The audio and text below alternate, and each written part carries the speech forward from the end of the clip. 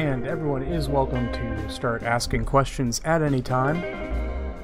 Just.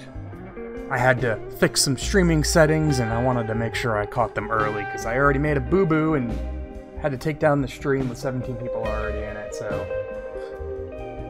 Pros and cons of starting early.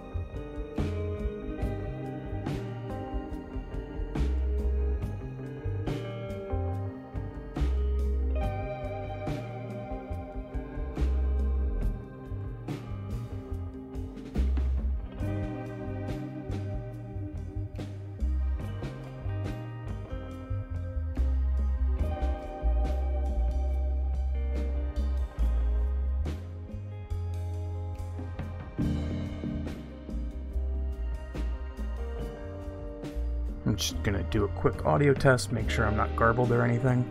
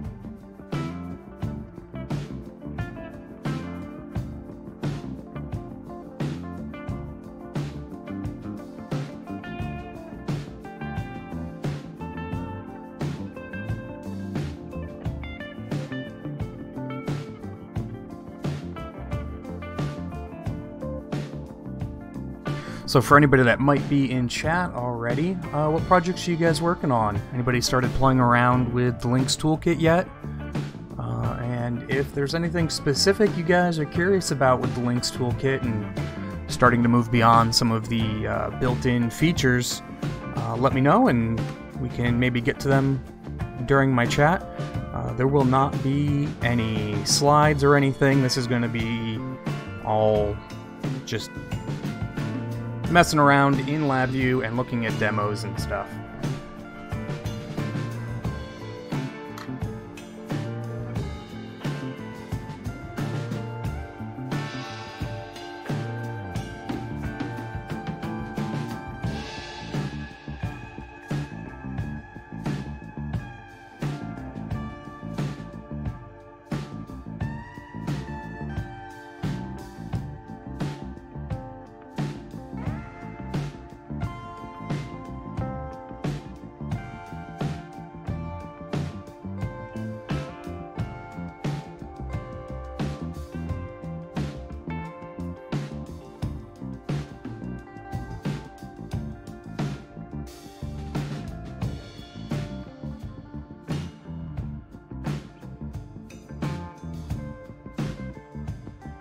Are you have you just started playing around with the toolkit yet, or have you had uh?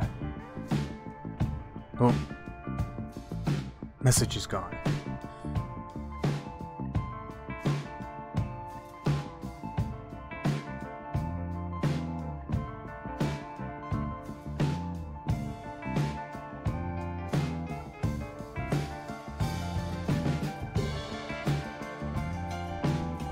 Okay, so did, in fact, want to say that, it seems. Uh, have you uh, deployed anything, done any specific projects with it, or have you just kind of experimented with it so far?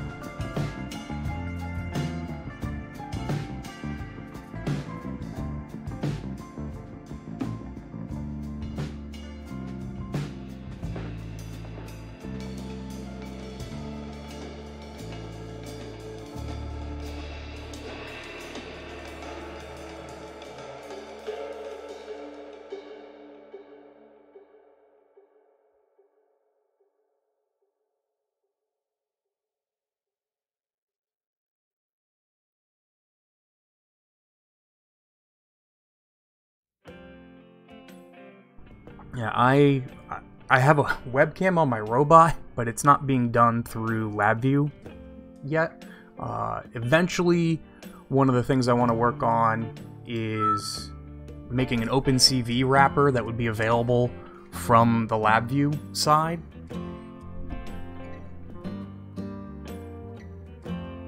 But right now, there's not much available directly from LabVIEW.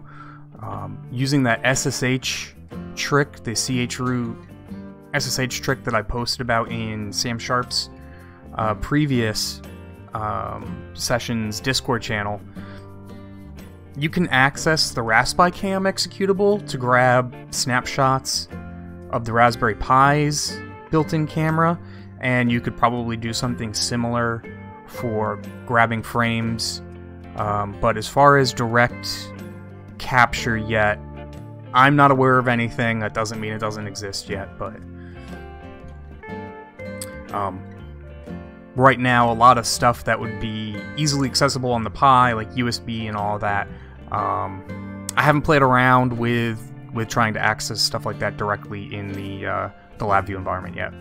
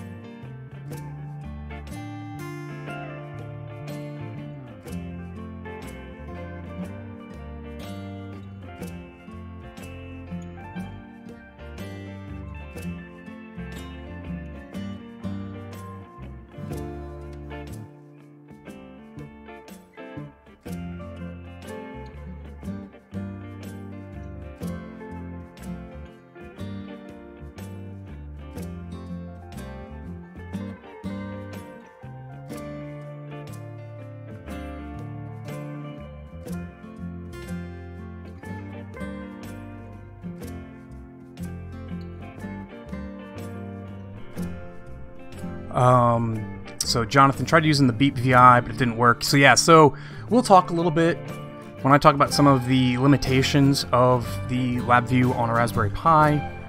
Um, but basically, the LabVIEW environment runs in its own little isolated system. It's not quite a virtual machine running inside the Pi, uh, but it doesn't have direct access to stuff like sound and anything that's available from the Pi itself.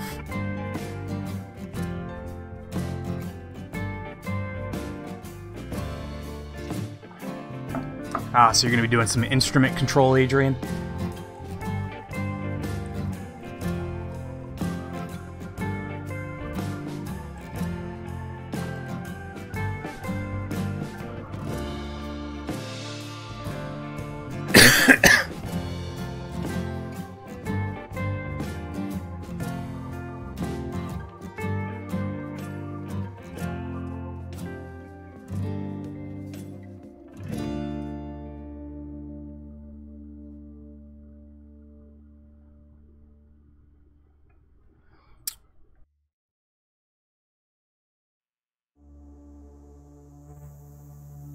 I just muted myself. Hello, Mike. How is it going?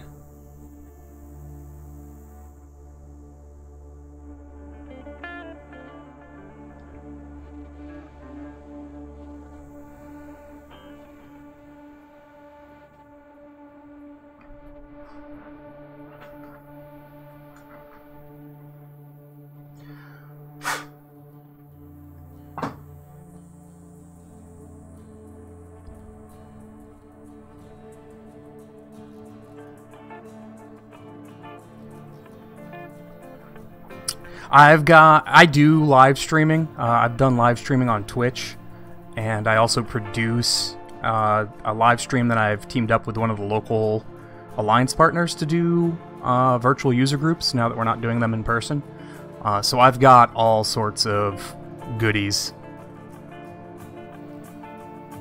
Also, this isn't a meeting platform that's getting used by everybody that's working remotely these days. Uh, YouTube is kind of built for bandwidth.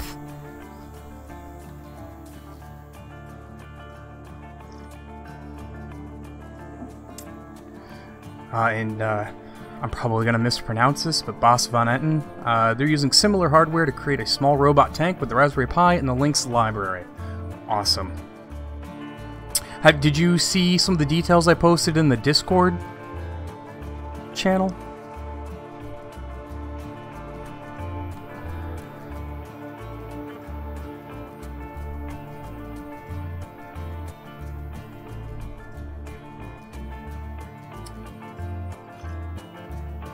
Awesome. What uh what approach are you using? Are you driving that directly Are you driving that directly from the Raspberry Pi?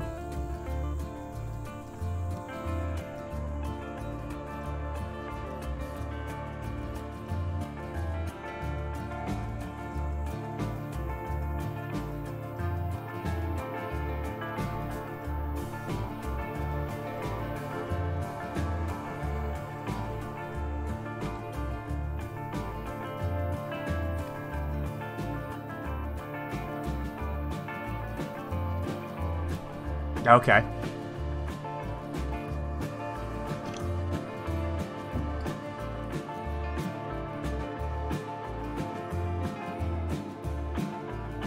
Yeah, and with tank treads, you usually don't worry about odometry too much.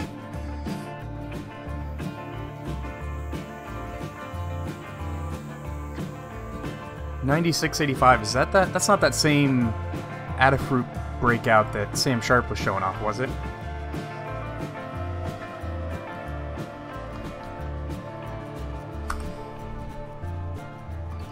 Okay, yeah, it is. Cool, yeah. that would certainly be an easy way to accomplish that.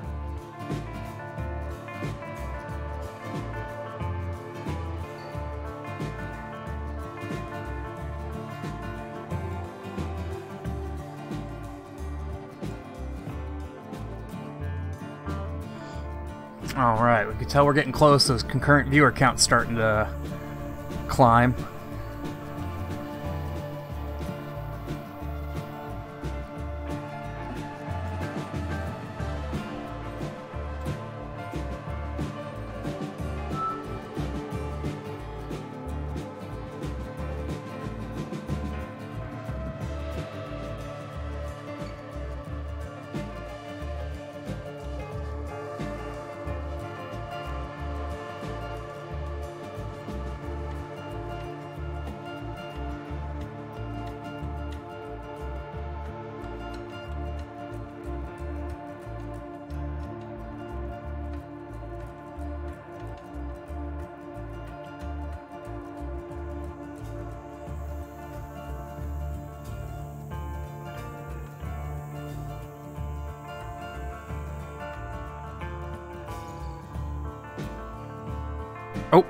Muted. Uh, thank you for that Twitter post, Swindly. Hello, Stefan. Uh, Mike A. I, I can picture the jumble of letters in my head of what the name is supposed to look like. I have a Lotus. I have something. All right, so it's time. Welcome to our show. Hack the planet. Hack the planet. All right, so I also have a whole bunch of toys that I've been playing with. Uh, not all this I, has been getting touched with uh, Linx yet, but um, I've been using a bunch of these little Arduino clones. Not as Arduinos, but uh, eventually I'll be doing stuff like synchronizing a whole bunch of uh, sonar sensors. Uh, I've got one of those robotic vacuum cleaner LiDARs that I've got all my measurements right for making a stand for it. So now I can start working on getting this into a robot. Um,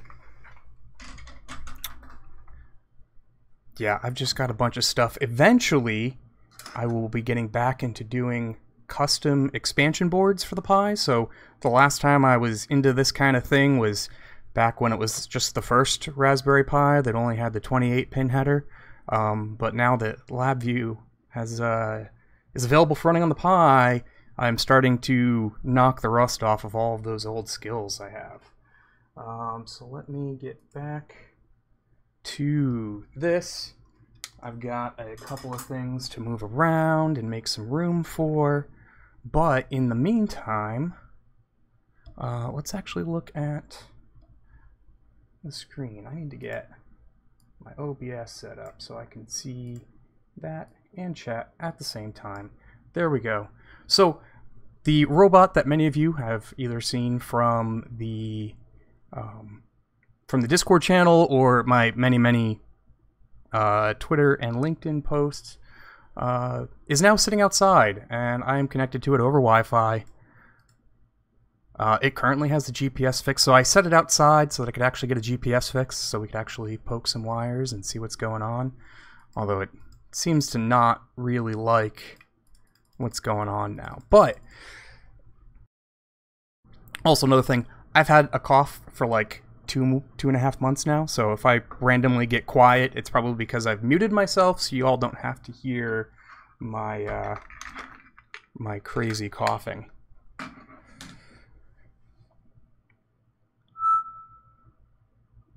Okay, Boss and so I am. I'll be demoing something very similar. Um, I am doing web control from a browser. Where'd my mouse cursor go? Uh, so that picture should jump, maybe. Maybe I'm a little too far away for the, the LabVIEW stuff to run. Um, but I've got a WebSocket server running on the robot that this web page can send joystick commands to. But now that everybody's here, uh, I'm going to all make you go wait for a minute while I go grab this robot so we can go talk about it. Uh, and hopefully it the the GPS acquisition stays for a little bit. Um, but there's a whole bunch of stuff to take a look at.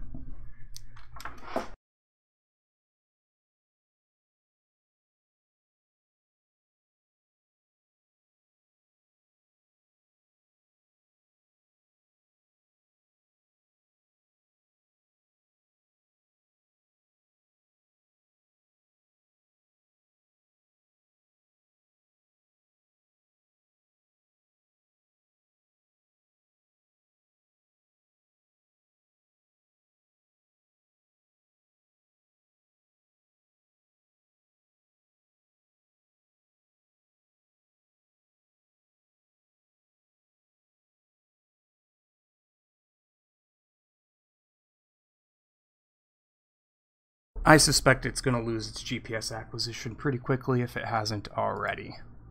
Yeah, we've already lost acquisition. Okay, so LabVIEW Community is now released, which is awesome. Um, trying to do all the mind sharing of all of the robotic stuff that I used to do while I still do a full time job doing LabVIEW. Uh, some of that is, you know, competes with the number of brain cells that I have left in functioning. Uh, so uh, this is super awesome that LabVIEW is now widely available for free to run on things like Raspberry Pis. However, there are some limitations. And uh, Mike, and uh, so I've been doing a bunch of custom development, custom firmware on the Arduino clones that I run uh, to work around some of those. So the what is the LabVIEW Linx toolkit great for? It's great for basic prototyping. It's great for when you only ever need to do one I/O operation at a time. Um, and especially when you're interfacing to, well, if you're using the Pi's output directly or you're using a Pi hat, um, you get a lot more flexibility. But if you're trying to then also interface to things like Arduinos, um, or you're trying to use the SPI bus, which has some big limitations in the Linx toolkit, um, you'll start to run into issues if you try to do too much at once. Um, so with this robot, what I'm doing is I've got a bunch of screws that are holding this lid shut. Um, but I've got an Arduino clone.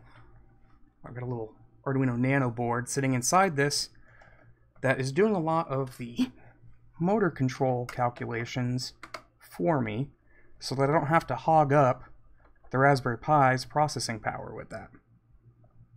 So get this cracked open, do a quick tour of the hardware for anybody that might not be coming.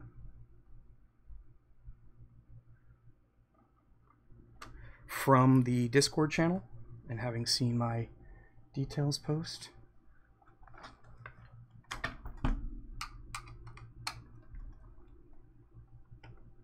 It looks like I got a, a an ant hitched a ride from outside.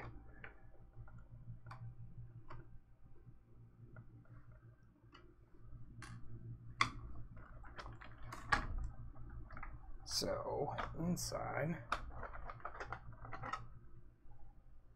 I've got an Arduino board that's running custom firmware that is communicating to the Raspberry Pi over the I2C bus, and then we've got an L298 dual motor driver board. Oh, yeah, there's another ant in there. Wonderful. Um, I'm gonna have to put down some ant traps now. Uh, and then I've got these two geared motors which have encoders on the back, uh, and this thing gets over 15,000 counts per meter of travel. Um, so trying to do that through Linx on the Raspberry Pi, that I might be able to do that, and that would be about the only thing I'd be able to do on the Raspberry Pi. So we offload that to external processors. Um, we still can't interface to those through the Linx toolkit unless we develop our own code, which is what I've done. I've also got an IMU here, so this is a different IMU. Uh, yes. Yeah, sorry, I forgot I wasn't focusing on the code. Um, so this IMU, it's the BNO055. It is awesome. Uh, it's not the one that comes included in the Linx toolkit. Now I need to open up a, I need to make a VI I can open up quick. so let's take a look at the Linx Toolkit sensors. So we'll swap back. So there are some devices already included in that they have support for. Uh, like they've got this six axis unit which has accelerometer and gyros. I think this is just accelerometers. I'm not familiar with these part numbers. Um, but with these, you have to do a lot of the, you have to do all the math to integrate all that data and get an orientation yourself, uh, which can be not very fun. However, with this, this can be configured to give you a quaternion or Euler angles, angles directly. Uh, so we just have to ask it, hey, what's my current orientation? And it spits it out and gives it to you.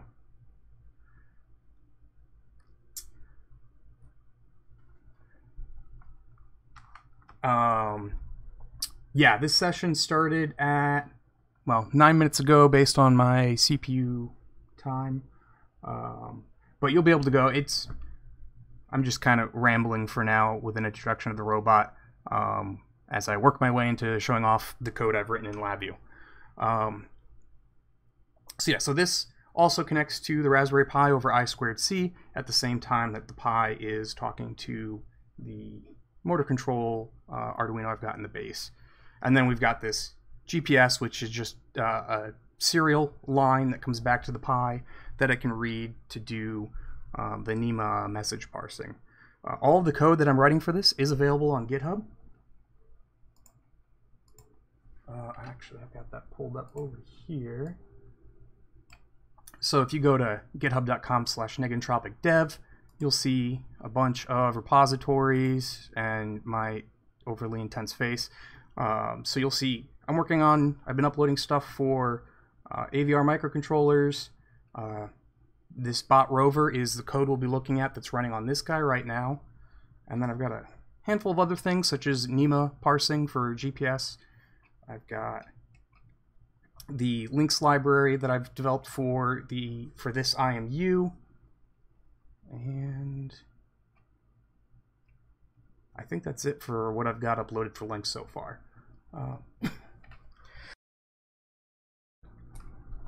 so back to the code. But yeah, so you're going to run into a situation where you're going to want to interface with some device. For instance, somebody was previously asking um, about what was it I posted the link for?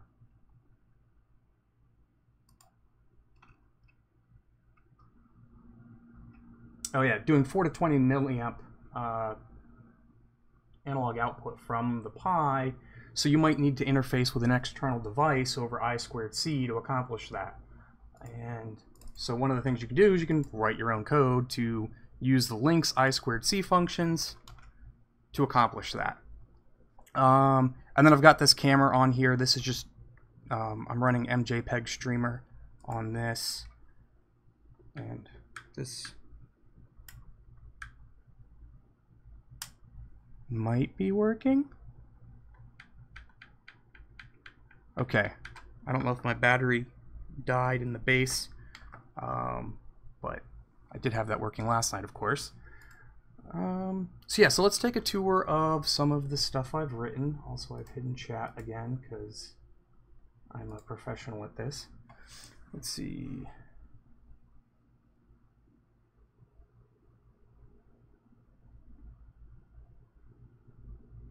Oh, and I was looking at LabVIEW. I'm batting a thousand here. Uh, all right, so LabVIEW code. Uh, so this is the uh, application uh, that's written in Linx for uh, for the Raspberry Pi. This is Raspberry Pi 2B. It's uh, one of the older. It's the oldest one you can run Linx on and LabVIEW on. so I've got some initialization, all the stuff that runs if initialization worked well, and then we clean up everything we created. So this is the run VI. Uh, oh no, sorry. This is the run VI. Right here. I'm gonna get rid of that guy for now. So we are, um, well, let's actually start at the beginning. So here we're initializing our uh, Linx uh, interface, and then we're initializing the I squared C bus. On the Raspberry Pi, you have access to I squared C channel 1, Uh, so you'll see throughout this application, everything is hard coded for that. And uh, not the most flexible, but it's running on a Raspberry Pi, which only has one. So we're going to initialize our, our GPS instance, our motor controller instance, and uh, our IMU instance. And then we're going to put the IMU in the mode that gives us orientation directly. So once all those are initialized, then we can start um, getting data from them. So my Visa GPS class wraps around my, my NMEA parser. So in my NMEA library, I've got that separated from uh, a basic wrapper for doing GPS over Visa Serial.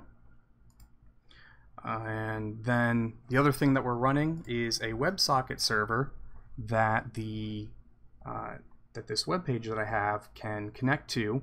So it creates a a socket listener, uh, a TCP listener, and then when it gets a connection, it changes it over and does the handshaking for WebSockets, and then starts to read messages from it. And every time we successfully read a message, we convert the JSON, uh, get out the drive and turn commands, and whether or not it told us to stop, and then we write them down to the rover. And I am going to get this shut down quick because I think it needs a restart.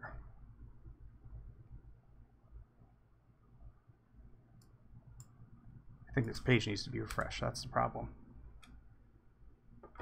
Oh, that's what it was. The page carrying it inside and outside.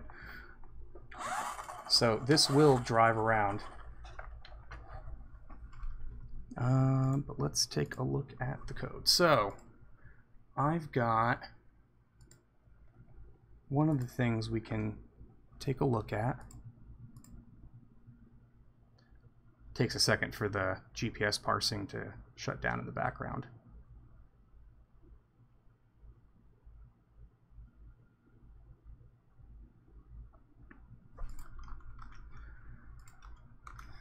So if we take a look at this GPS class, the first thing I do is we initialize it.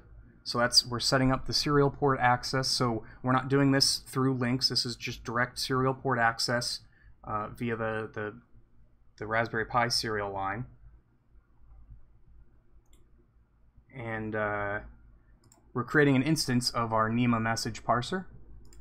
And then I'm using some by reference stuff so I can pass stuff between the processing loop that's running in the background, and then anything that needs that data.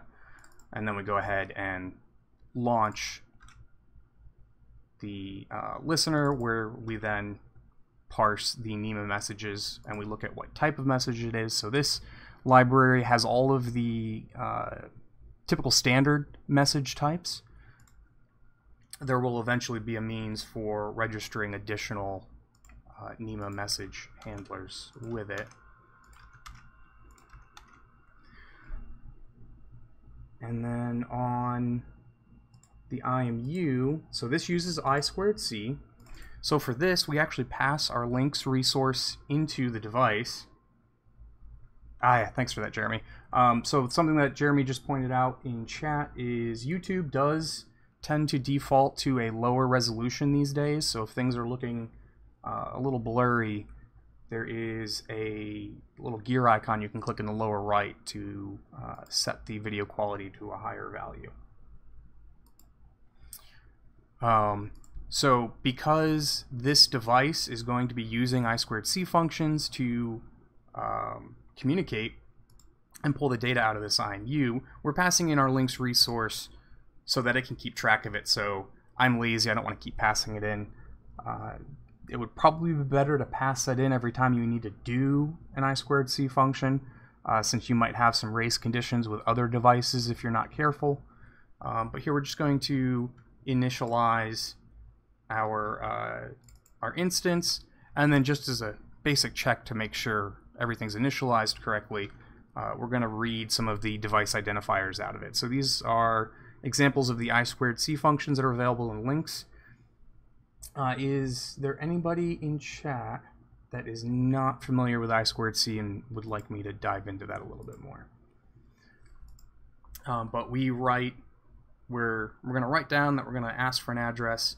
We get a bunch of bytes back over the bus from it, and then I'm just using a typecast where I have a cluster I've set up um, that all of these, I what are these representations? Yeah, these are all U8s. Um, so this is just set up already in the layout of the data that comes back from the device. Uh, so this is a, a really quick, easy way to format the data that you get.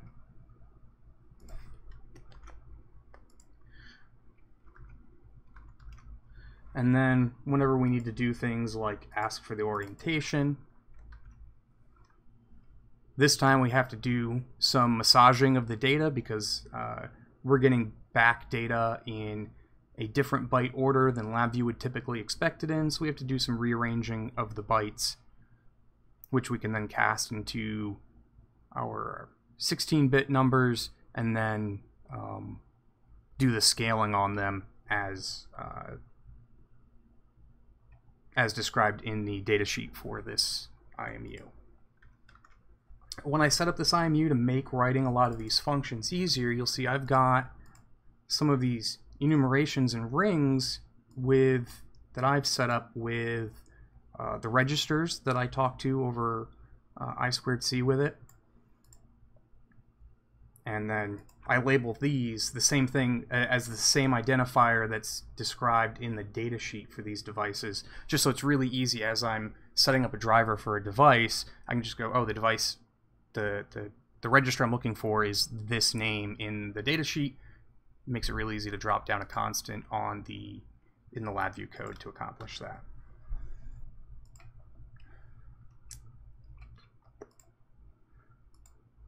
Then for my motor driving code, we've got, oh, no, wrong one. Where's my rover class? There it is. So we do something similar as the IMU. We pass in our Linx uh, interface instance, our I2C bus configuration, and uh, address for the device, which I've got my firmware set to listen on address 40. And then whenever we send down commands, um, we're just building this byte array. So this does do everything in 32-bit floats on the uh, microcontroller. So we're just, I've got this function that does the typecast into a byte array, and then the microcontroller is little endian, so we've got to reverse that order before we send it down so that the AVR can understand that format. And again, I do this trick where I've got an enumeration for uh, any of the register addresses that I have set up on that code. So what does that code look like? I've got this. So this is something that you could do um, if, you're starting to run into limitations of things you can do directly from uh, Linx using their built-in firmware for devices like Arduinos and chip kits and any of that you can write your own firmware. You can write your own uh, serial protocol that has the commands that you know you're going to need. So it's not going to be this universal do one thing at a time firmware. Uh, you would be able to do whatever you can get an Arduino to do any other time. Um, so that's one of the biggest limitations of doing things with Arduinos, and this would hold true whether you're trying to talk to an Arduino from a Raspberry Pi like I am, or if you're hooking an Arduino up to your PC to do some uh, prototyping and basic I/O or things like that, uh, you know you're you're limited to that. Do one thing at a at a time. You can toggle one digital pin. You can set one PWM value. You can read one analog channel at a time. Uh, so I can't accomplish that with a platform. You know I. I can't work within those constraints with a platform like this, so I'm writing my own firmware for the microcontroller, uh, and I've I do this a little bit differently than, than most people may be familiar with, but all of this can be done directly in the Arduino development environment um, that, and you can use all the existing Arduino libraries. You would just develop your code in the Arduino IDE and then flash it to the Arduino, and you would write your LabVIEW code to use your own serial uh, calls instead of using the the Linx functions for uh, for communicating with that. Um, but so I've got this firmware that I've developed. Uh, it's got my own I squared C libraries that I've developed that are all included on that on that BotRover GitHub. Um, I'll also be packaging these separately as well for anybody that's interested in moving away from the Arduino platform. Uh, Arduino platform has less has fewer restrictions than the Linx toolkit does. Uh, however, I still like to have a little bit more control over what it's doing uh, when it's when it's doing I/O. Um, when you don't use the Arduino I/O functions, you can do stuff like set eight digital pins simultaneously or read eight digital inputs simultaneously. Um, so I've I've done the work to learn how to do all of that myself. Uh, so it's uh, it affords me some more capabilities out of uh, the same exact microprocessor that comes on some of these uh, dev boards. Um, I can I can make them do a little bit more. But so again, this has uh, I squared C. Um, unfortunately, I don't have my PID stuff running yet correctly yet, so this is still really difficult to drive. Um, but basically, we've got this function where uh, we've got this uh, top level code that runs on the Arduino where we initialize all the devices. This is where I've got that address of 40 set up that we saw up in the LabVIEW code. I've got some tuning parameters for this specific robot. And then um, the I squared C code I have uh,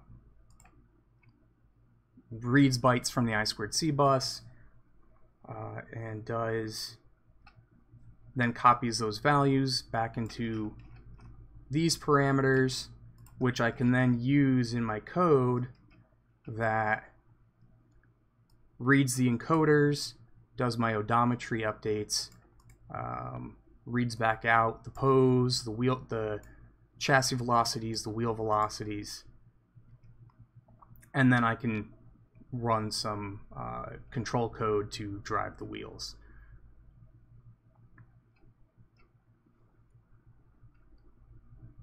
And I'm going to go put this back out in the other room and we'll demo driving it around.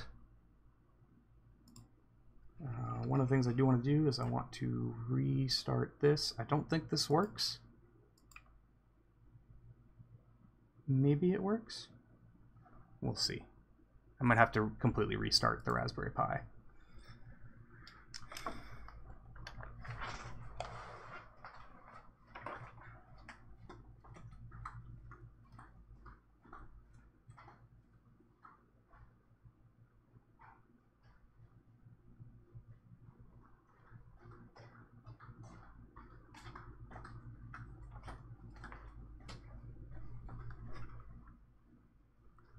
So here's my little obstacle course I've got set up. But I need I need this to run as a as a deployed executable because running it through the development environment uh, slows things down quite a bit. Okay.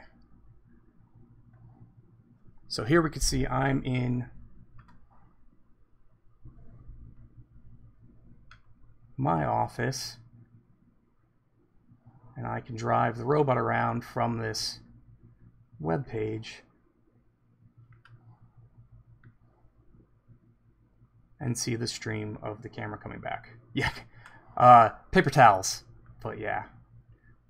This is the one stash I have, and I only bought a pack that big because that was the only pack size available when I ran out of when I I only normally buy like two at a time because I don't need that much. This is all that was available.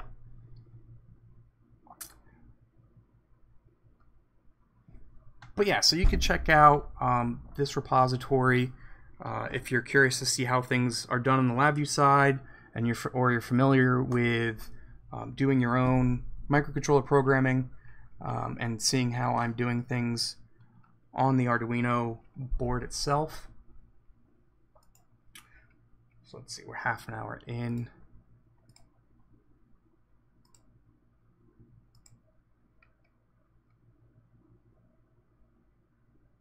Um, so this is right now running as a deployed executable. I've got a build spec for this where I've selected that that LabBot top level VI. And then again, that sets up a a WebSocket server just so I have a web page that can talk to it directly. Um, I'll probably eventually move away from this WebSocket stuff. It is very abstracted.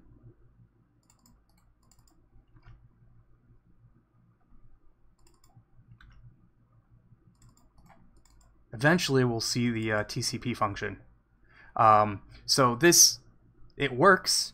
It is, uh, I'm limited to sending about five joystick commands per second which isn't terrible, but when you're trying to manually directly drive the robot's wheels, that can be a little bit slow of a rate. Um,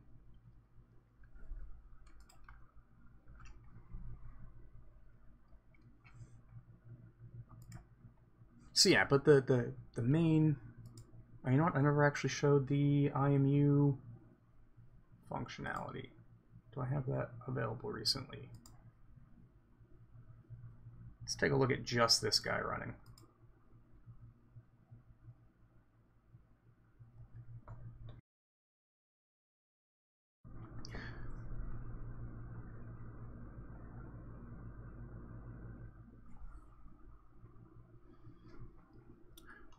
And since I don't have a robot sitting in front of me, I might as well point at me. Yes, I know it's currently running an application.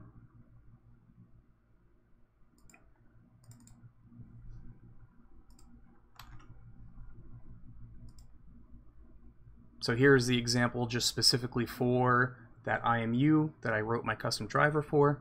So this is pretty similar to what um, Sam Sharp has done for uh, a lot of the Raspberry Pi hats and some of the other devices that his uh, his libraries are written for. He's got a, a VI package that he's that he's distributed that all with. Um, right now, everything of mine is just on GitHub. Uh, once I get a couple more of these projects done and I get my code cleaned up and documented, uh, I will be looking into doing stuff like VI Package Manager for this stuff as well.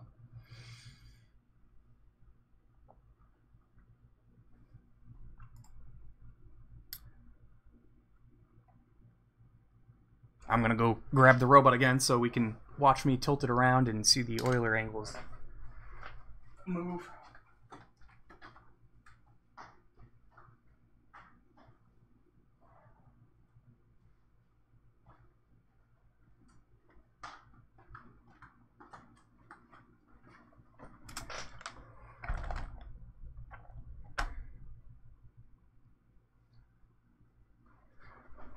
So we can see as I down to here, as I tilt the robot, the roll changes. We can pitch up and down. We can yaw. And as near as I can tell, this yaw is actually, because it's got a magnetometer for doing part of the orientation, this is actually north, which is cool.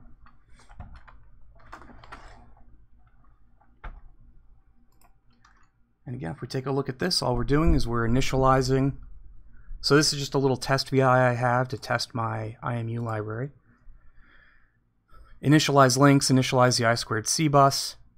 This time I did actually put that as a control. Uh, and then as long as everything initializes correctly, then we can start getting the calibration status. So this, you have to do things like wave it around and tilt it and set it on its different sides for the uh, accelerometers and gyros and stuff to calibrate themselves. And then, yeah, I showed this function already, uh, this VI. Uh, we can start asking it for orientation. Like good programmers, we clean up after ourselves at the end. Clean up our uh, Linx I squared C and the Linx top level resource.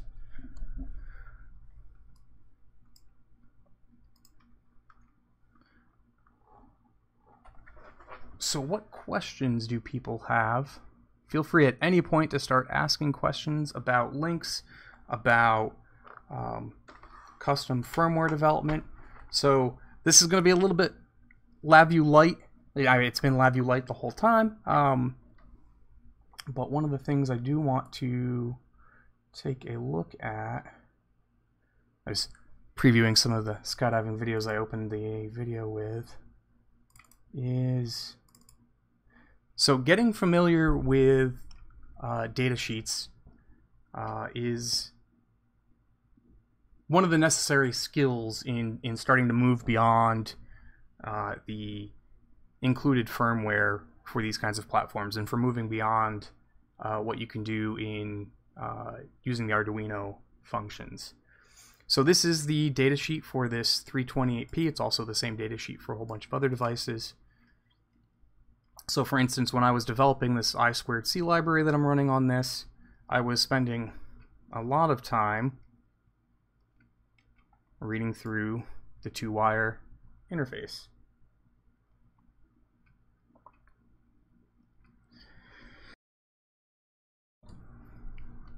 And when you're doing your, your bare metal microcontroller programming, you're working with uh, the registers directly. And so the data sheet will, will describe what bits and what registers you have to set. It'll give you example code. That's assembly. That's so there's C. Uh, so I've written this all in like a mixture of C, C++. It's pretty much all C++. Um, but here's descriptions of like the control register that, that I use to control the I squared C bus from the, the Arduino board. Uh, so Nikola Jovanovic, uh, what about IR remote controls? Uh, so that could be something where I've never used IR myself directly. Um, I'm sure there's gotta be something. There might be something like that built in. But you could do... No, come on, go. There we go. Um, let's see what we have here. Is it used in industrial environment, Linx or Raspberry Pi? Uh, stuff like this is not designed to be used in industrial environments. Um, I wouldn't necessarily recommend it. Uh, okay, so I'm not seeing stuff directly in here.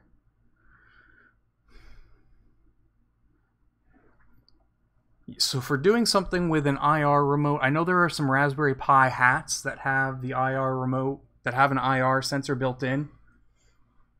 I've got one for the original Raspberry Pi. It's only got the 28 pin header, but it does have an IR port on it. I've never used it. I'm not familiar with um, how infrared remotes send their data.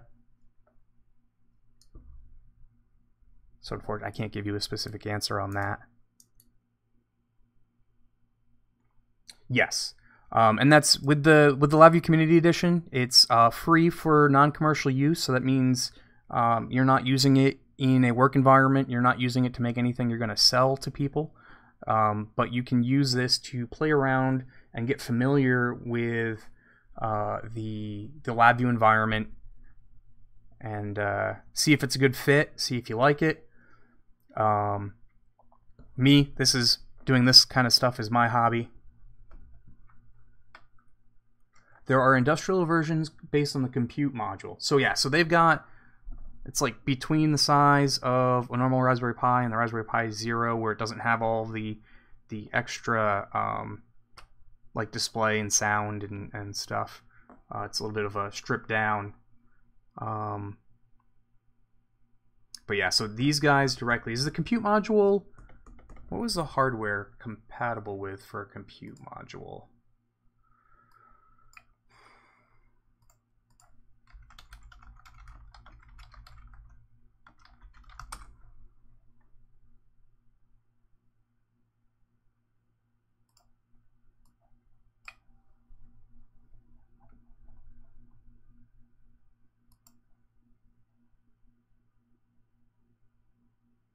Yeah, there's nothing that stops you from using this stuff in industrial settings.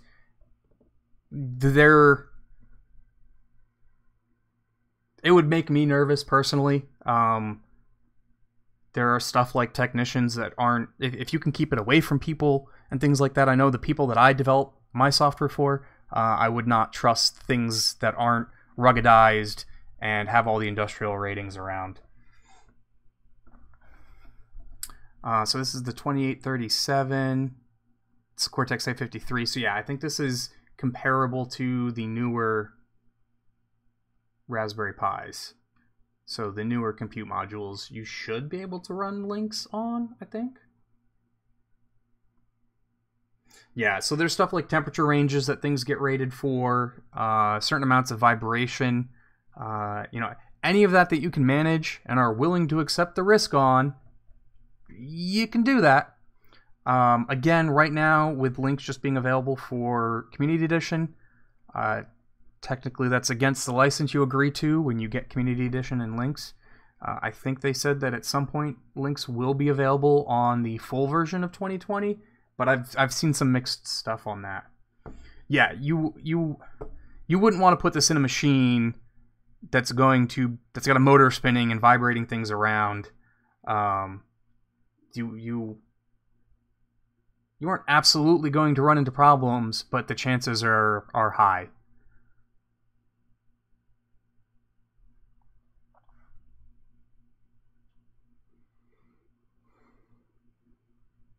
You know, somebody earlier was mentioning that they're basically using their Pi to coordinate some uh, some test bench equipment and doing some GPIB from the Pi. And there, so Darren Nattinger. Okay, so yep, awesome. Thanks for that info, Darren.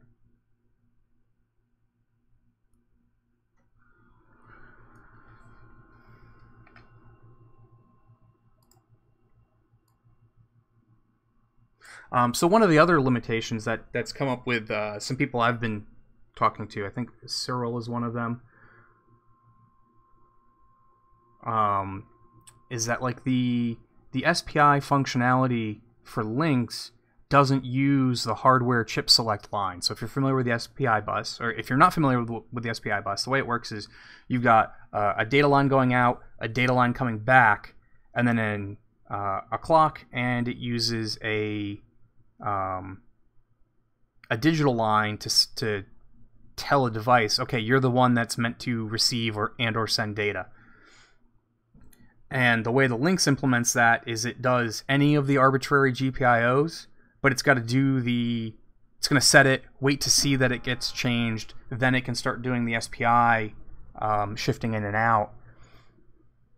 Whereas the and so that's that's adds a couple of extra steps. is kind of slow, limits the SPI um, speeds you can achieve, uh, the bandwidth you can get through.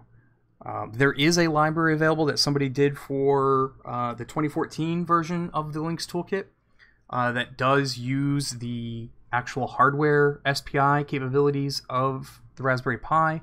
Uh, I haven't seen that it's been fully tested and working on uh, this 2020 release yet.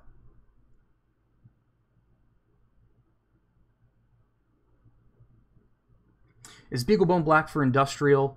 Uh, so it's the BeagleBone Black.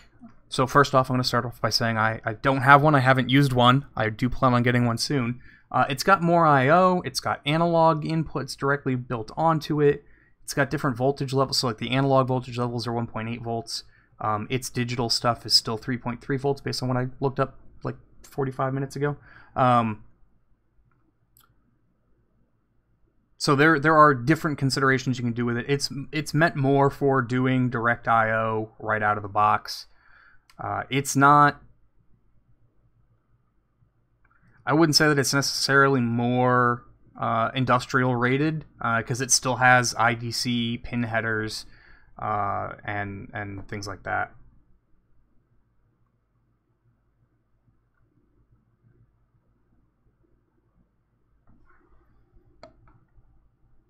Uh, and if people are curious to see what this terrible web page looks like um, that I'm using to do this, so there is a gamepad API available for modern browsers where it can directly read gamepad status. and I just directly pulled the demo it has at the end.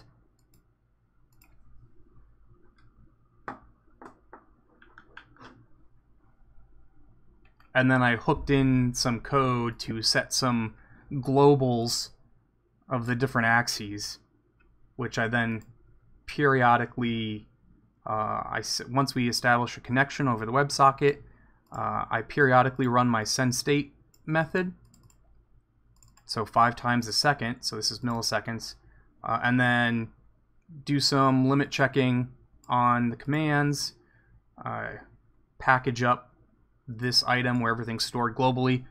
Again, this is bad practice. This was me throwing together uh, a quick RC demo, um, but uh, here we can see we're establishing the WebSocket connection to the Raspberry Pis, what it's running, um, and to the port that I had specified in the LabVIEW code. And then we just send JSON formatted data of this object, which has a stop, a drive, and a turn properties in it.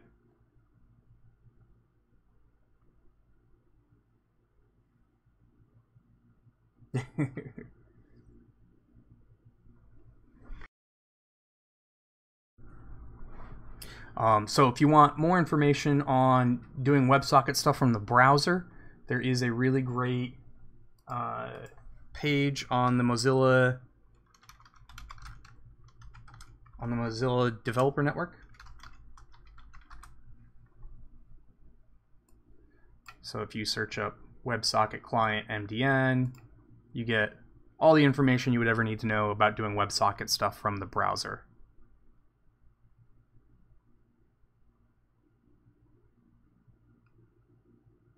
So the Xbox controller is not that is being done from the web browser only. Um, the way that works. So the LabVIEW code is I haven't copied this these two web files into this repository yet. Uh, the way the joystick code works is it runs in a web page which generates a JSON packet that gets sent to this robot over a WebSocket server.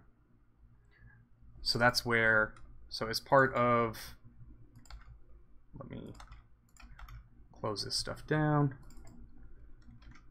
So we initialize the system, then in our run, once we have everything initialized, we run our server loop and I'm using the uh, WebSockets toolkit that's available uh, on the uh, NVI package manager. And it puts the toolkit, all of its VIs and stuff, right here in the data communication palette.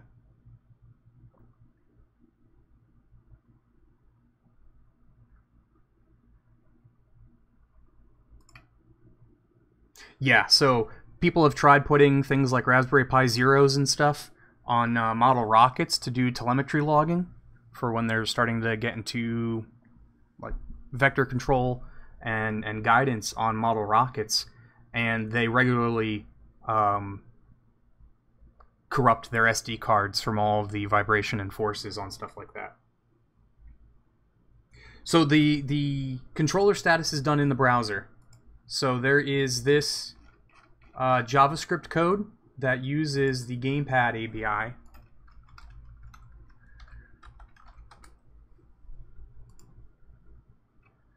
Right from Chrome itself. Somebody tried to use the read-only all-in-RAM with Linx.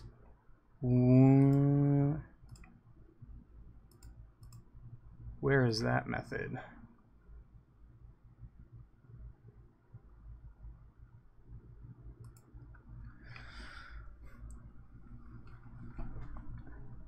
Um, yeah, so one one of the you know eventually this thing's going to be autonomous. Uh, I've got so some a bunch of the other sensors I was showing off in the beginning. I've got this spinning lidar that I'm going to be building a controller for, and that will eventually get mounted on top.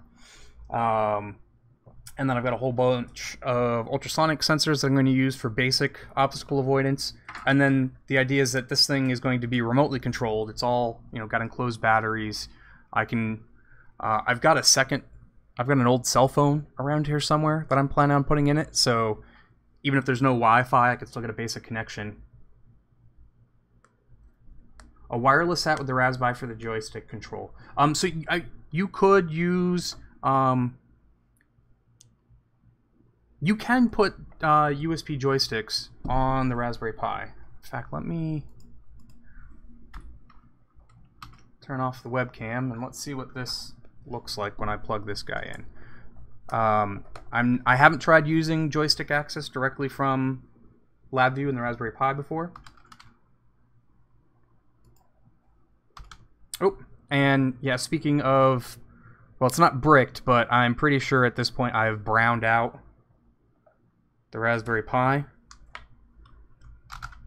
because it is not responding anymore.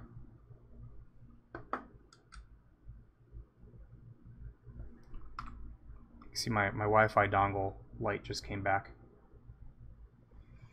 Um, so if you want to, you know, you could do, you could use GPIO to specify. There we go. To specify. Oh, maybe. What is going on with my Wi-Fi? To read stuff like buttons and things like that. Um, it is possible to develop your own shared objects that you can call from. I'm just going to. I think I'm just gonna power cycle this guy. Oh wait, no. Now it's back. Oh, that ls is just extra. Okay. Um. It's probably that device that it does not recognize. So Xbox One controller may or may not work. Um, I'm pretty sure they probably do because there's things like RetroPie that do games.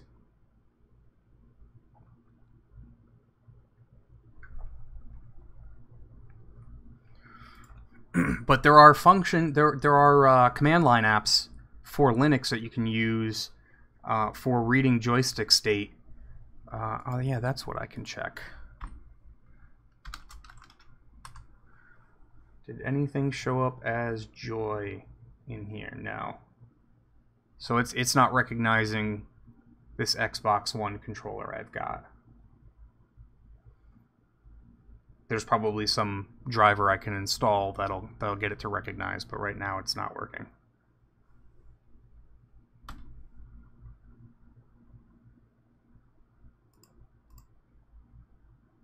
Yep, I uh, I browned out the Pi.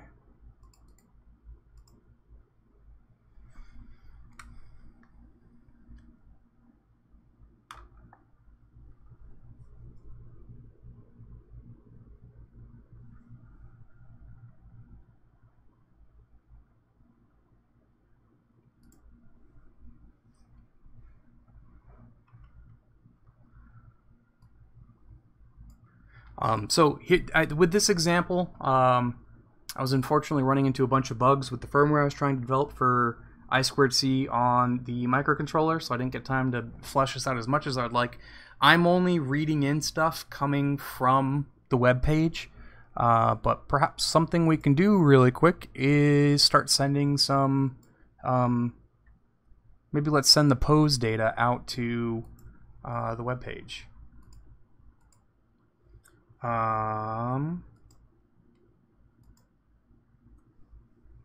which, unfortunately, okay. Now I I don't have this architected right to make that very feasible, and I'm not I'm not gonna try and live code that uh, on this stream.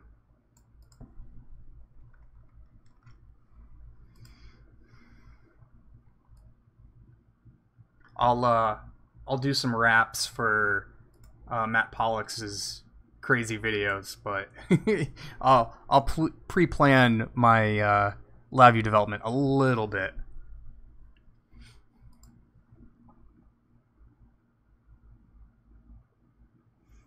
Um, and then for people that are interested in doing stuff with GPSs, this NMEA library is not specific to uh, Linx. Uh, if we remember, if we looked at that, no singing, please. Yeah, no, you guys can go find the link for Matt Pollock's video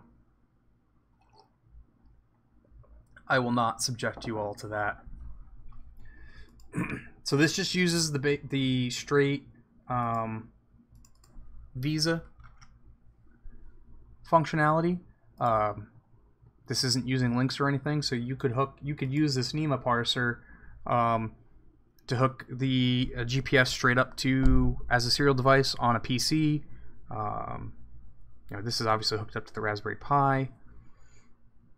So this isn't doing anything link specific. And then this NMEA parse, if you're getting if you're getting your data in not over Visa, uh, the again this this is just a parser, so this doesn't do any of the I/O itself. That's why I've separated the NMEA and the Visa GPS libraries.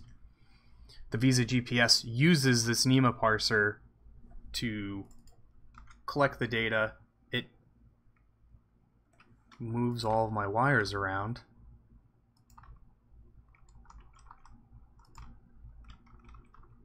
Um, Lab UI. So it is just continually in the background. Uh, well, the at least in the Visa GPS case, it's continually listening in the background for data to come in over the serial port, which it then passes into the NMEA parser. Uh, you just pass it in NMEA messages, and then it will fill in the appropriate details on the class and then you can retrieve that back out. This is by reference, which I know some people will not like. This is these are not pure. This is not a pure class. These are not pure functions. Um,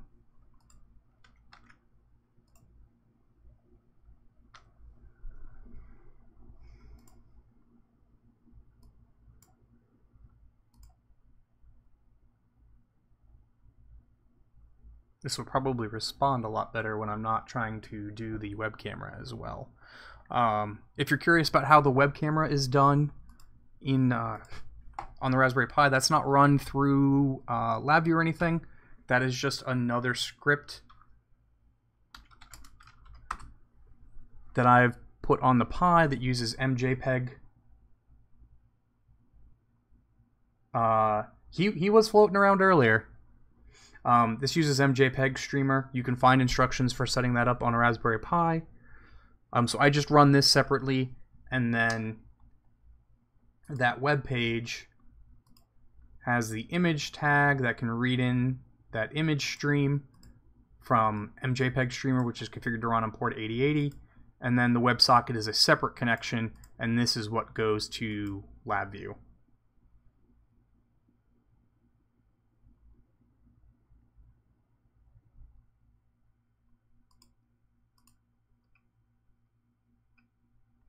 But, oh yeah. Here's the IMU data. So we could send some of that telemetry stuff. Well, it's waiting for a connection right now.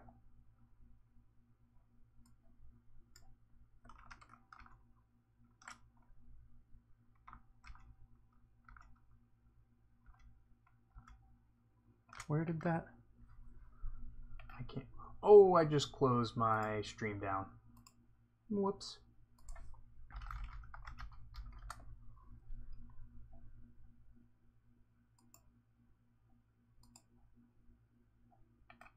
It's getting a little aggressive and closing down the tabs.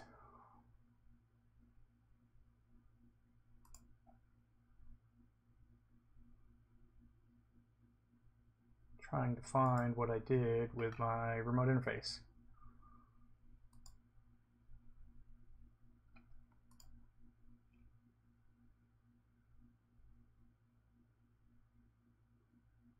Uh, so Jack Schmidt is asking in Discord, what is the difference between the DVR and the in-place arrow? So the in-place arrow,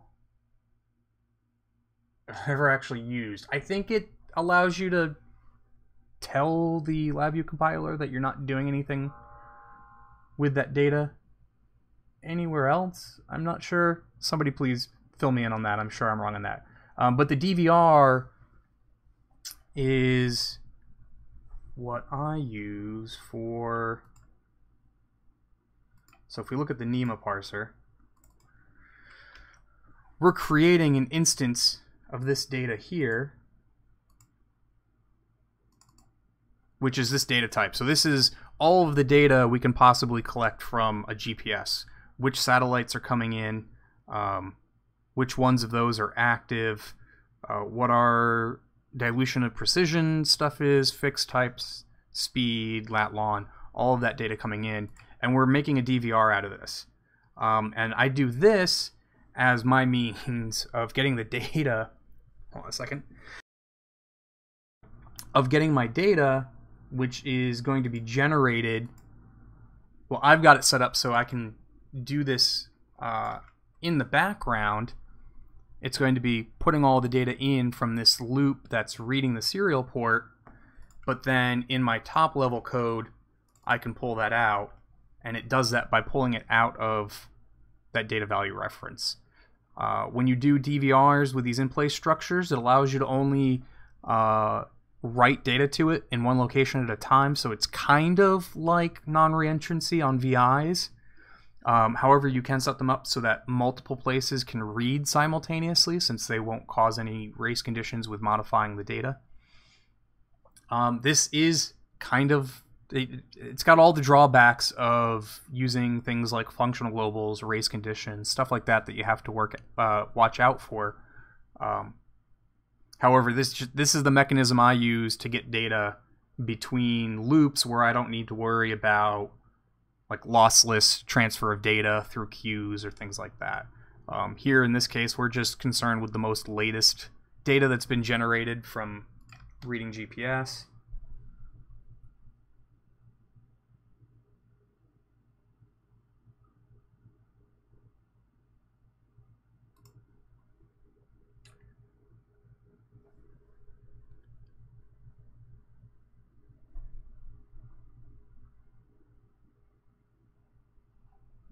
Um, I still don't have the. Where did I stick that web page?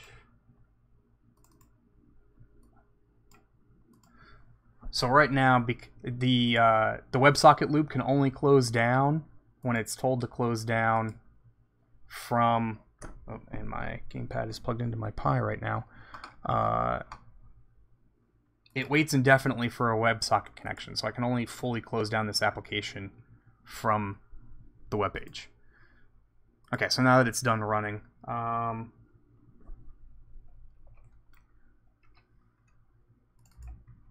so yeah, there's this function, um, which is new data value reference. You use this to create a reference to normal LabVIEW data. Um, things that are already reference types are stuff like TCP handles, uh, file references, uh, VI references, things that when you branch the wire, it's still looking at the exact same data. You can branch the wire and still access that same data on a different branch. Just with DVRs, data value references, there's the extra step where you have to use that this uh, dereferencing um, in place structure to get access to that data.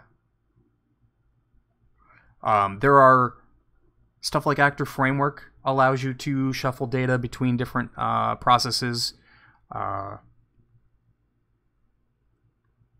I think some of the the state machine frameworks make it uh, allow you to shuffle data between processes.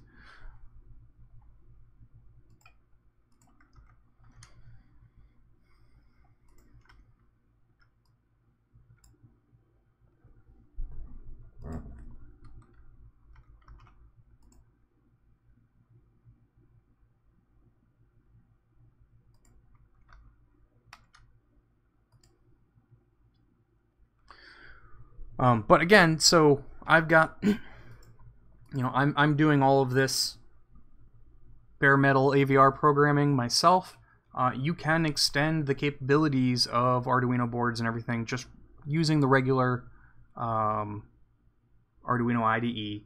Uh, you would set up the the the serial port access. You would, you know, maybe you do it in ASCII mode and you send like the letter A to turn out put one on, like a capital A to turn output one on lowercase a to turn output one off. Um, maybe one of the commands you send does a handful of things at once. Uh, maybe you send one command and get like five input values read back at once. Uh, when you start developing your own uh, Arduino code, you have a lot more flexibility in the number of things you can do simultaneously because it's not this one package that allows you to to interface to anything, but it's it's not written for a specific application. When you start writing applications specific to your use case, uh, you'll get a lot more performance out of that. And again, you know, if you're, uh, I think you know one of the people that was playing around with uh, Linx uh, back in the beta did a homebrewing monitor where he had some devices set up to monitor the bubbling coming through the airlock on the top of his um, fermentation uh, jug, and so he had a he could see a history of how much his uh, his yeast was providing him uh, CO2 generation, and he could monitor temperature and things like that.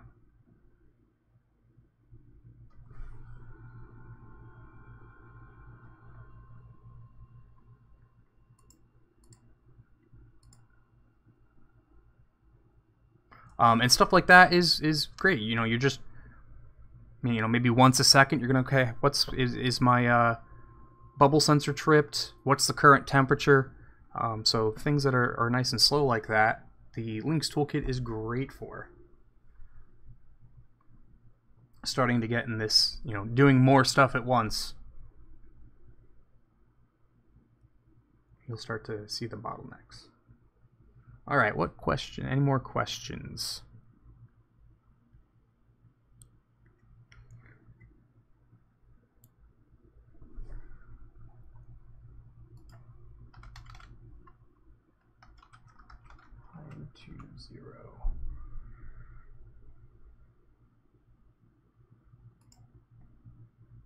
So I know in uh, Sam's presentation, some people asked about running Linx on a Raspberry Pi Zero, which you cannot do. Uh, the Raspberry Pi Zero's processor is older and doesn't run the, the, the actual CPU instruction set that would support running the uh, environment on it. Uh, one of the things I'm waiting to arrive is this Banana Pi M20, which I mentioned in his uh, in his chat. Uh, so this is in the form factor of a Pi Zero.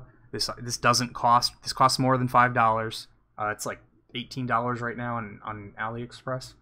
Um, but it's got the same specs as a Raspberry Pi 3.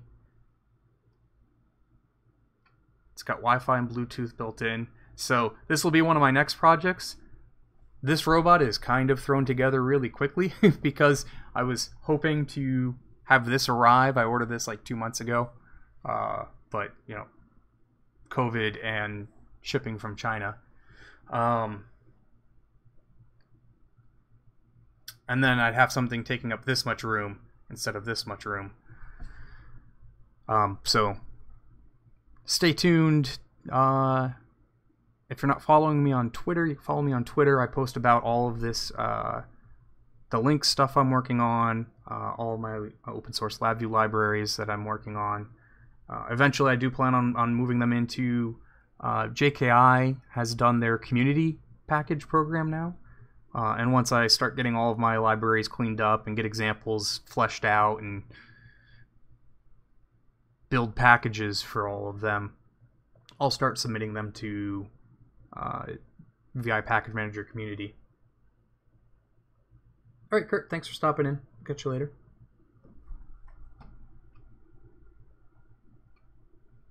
So this is something. I'm, so this little guy is like one and a half times more powerful than the old Pi 2.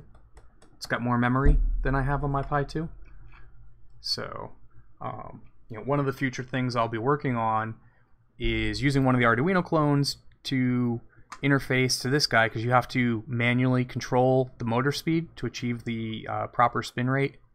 Um, but this is a LiDAR that would give you a full 360 scan of distance measurements. Um, and so this will be one of the things I start doing. Uh, and then, you know, processing 360 data points um, every couple of seconds uh, you know, having something with a little bit more power behind it would be very nice on the LabVIEW side. Um, as I said before at the beginning, I do my own expansion board design, and one of my plans is to kind is to uh, develop a you know under the new Pi Hat format instead of the old Pi One 28 pin format. Um, basically integrate most of these capabilities. So something that'll have the uh, motor drivers built onto it. It'll have a, the microcontroller on it that can.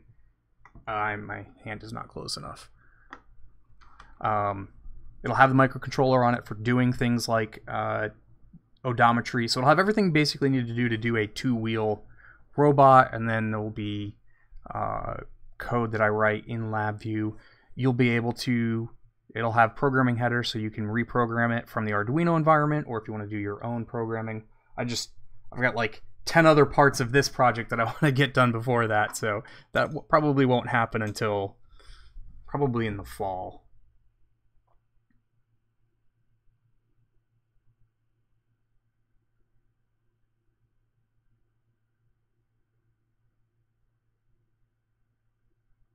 Yeah, and this was this was a bit of a whirlwind tour of web and AVR and Linx.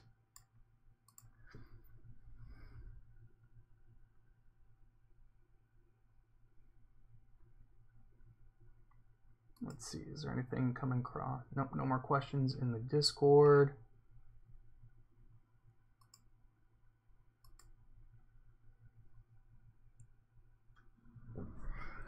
So I think we'll just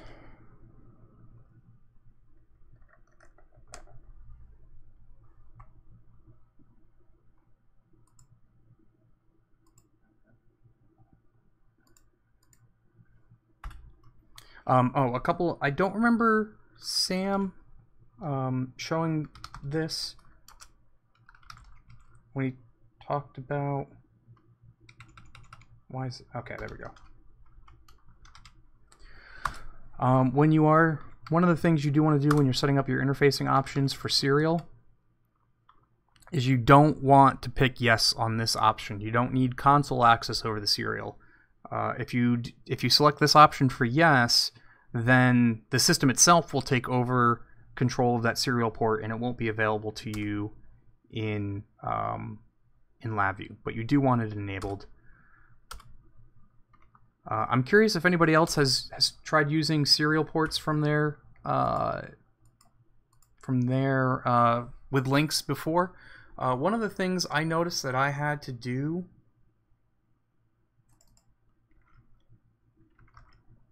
Um, oh, it's in here.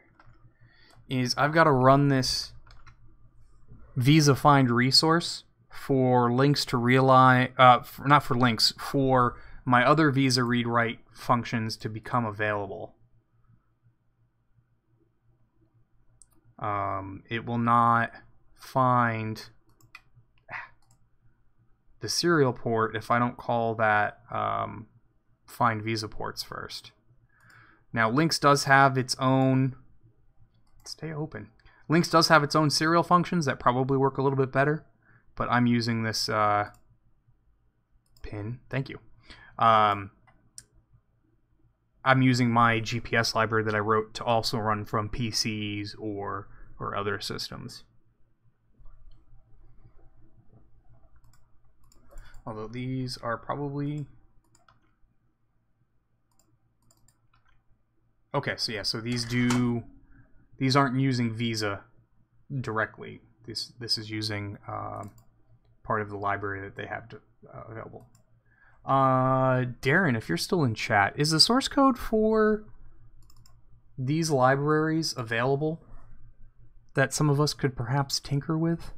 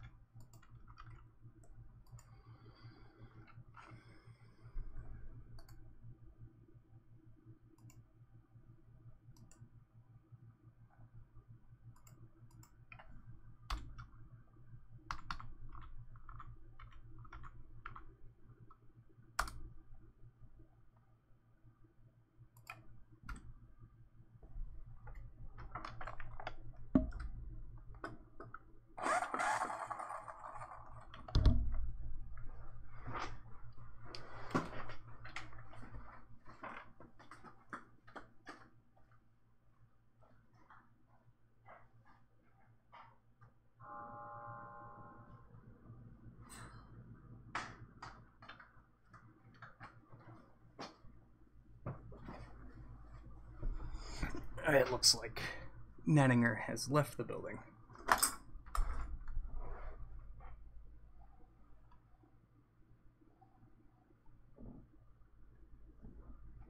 Yeah, I, as long as you call that one, from what I've seen, as long as you call that one VI first, it it Visa then begins to work.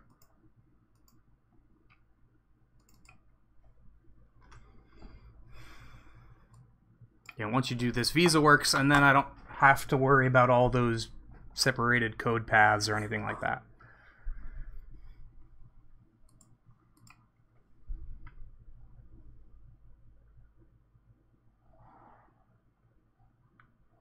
Oh, this thing has like half a second of latency.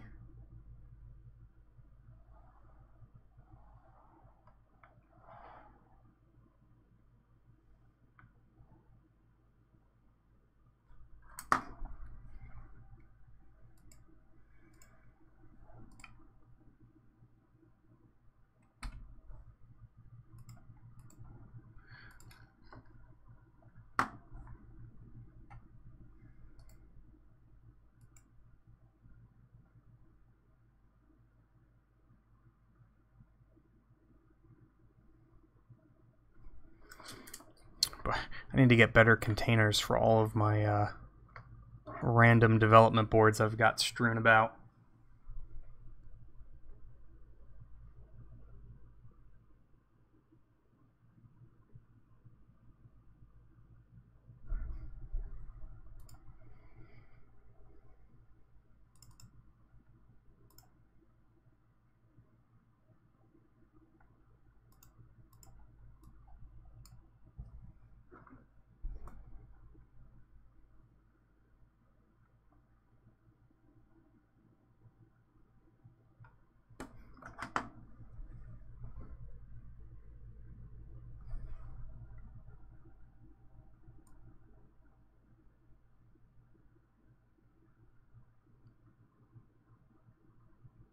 Is when you're uh, deploying a Linx app to the Pi, it even sends all the libraries down for devices you're not using.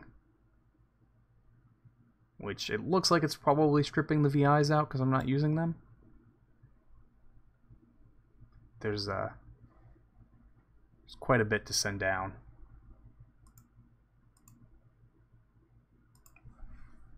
All right, well, this we are uh, 15 minutes past, and uh, I want to make sure everybody is ready for the next session, which is going to be the FPGA Advanced Sessions,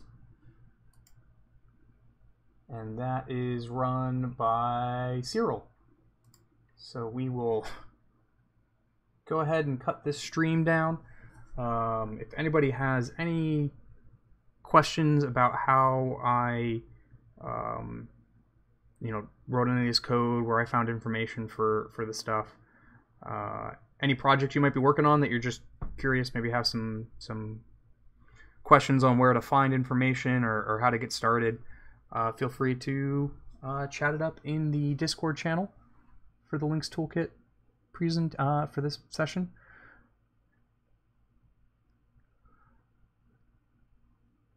Okay, so Becky Linton has clarified the in-out um, elements on in-place structures. They accept any data type and requires the right-hand side to be wired.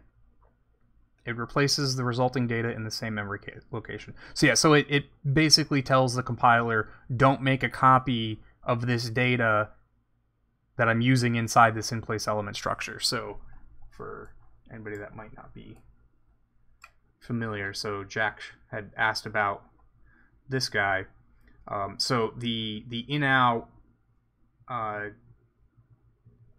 tells LabVIEW I might branch that wire that comes out of here within this structure, but only keep track of what's in here um, and and make sure it doesn't it you know it, it doesn't get a different copy that's put somewhere else.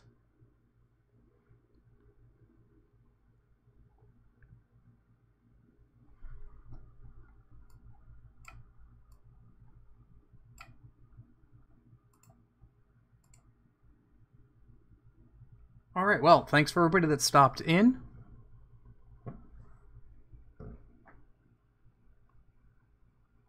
Looking forward to the rest of these VI week sessions. And uh, now that I'm not under pressure to get the most basic function of joystick driving working for this rover, um, I hope some of you are interested in, in seeing some of this robotic stuff, and uh, we'll see some of the actually neat stuff I've got planned for this guy. Uh, so thanks for everybody that stopped in. We'll catch you all later.